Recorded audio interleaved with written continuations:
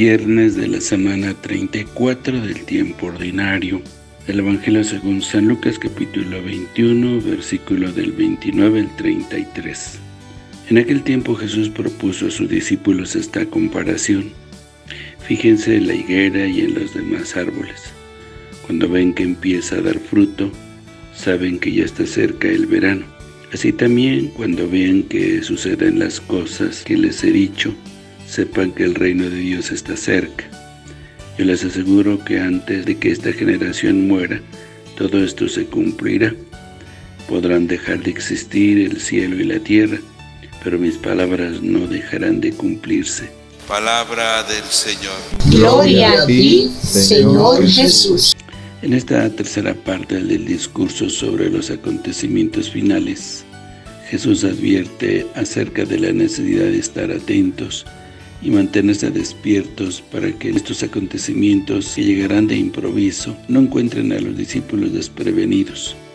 Por esta razón el discurso de Jesús insiste en la vigilancia permanente, la que tiene un propósito, que el corazón del discípulo, órgano propio de la comprensión y del discernimiento, no se embote con los vicios del que ha perdido toda esperanza, viviendo como si el Señor no fuera a venir.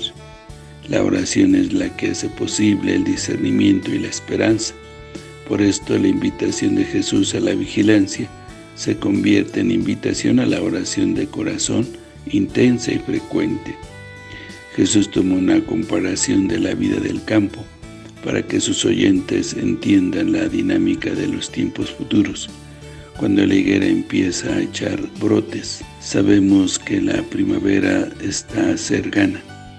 Así los que están atentos comprenderán a su tiempo que está cerca el reino de Dios, porque sabrán interpretar los signos de los tiempos. Jesús anuncia la llegada del reino de Dios como una liberación para los mortales. Y hablar de liberación es hablar de un acontecimiento gozoso, el paso de la opresión a la libertad. Algunas de las cosas que anunciaba Jesús, como la ruina de Jerusalén, sucederán en la presente generación, otras mucho más tarde, pero sus palabras no pasarán. Era un hecho que la comunidad lucana experimentaba ya el desánimo y el descuido de las tareas de evangelización y de su vida cristiana, porque el tiempo pasaba y la parucía no llegaba. Esta invitación era pues para no caer en la apatía y en la desesperanza. La misma situación se percibe en las comunidades de los otros evangelistas. Jesús ha comprometido su palabra en la promesa firme de que esto sucede. Han pasado casi dos mil años desde que Jesús anunció esto a sus discípulos y podemos ver cuán estable es la palabra de Dios. Basta dejarse llenar de la luz que viene de la revelación para que se abra ante nosotros el panorama del reino.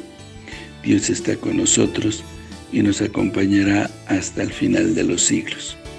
Estemos atentos a las manifestaciones de Dios en nuestra vida y dejemos que esta palabra que no pasa sea siempre nuestra fuente de sabiduría y manjar del corazón.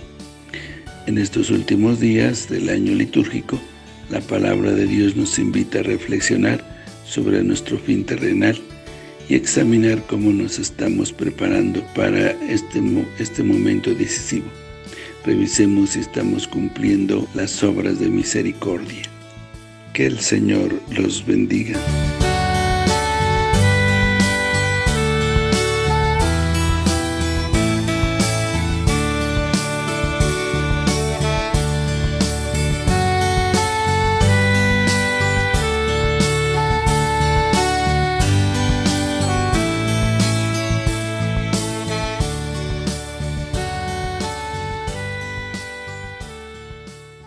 La bendición de Dios Todopoderoso, Padre, Hijo y Espíritu Santo, descienda sobre ustedes, que los acompañe siempre.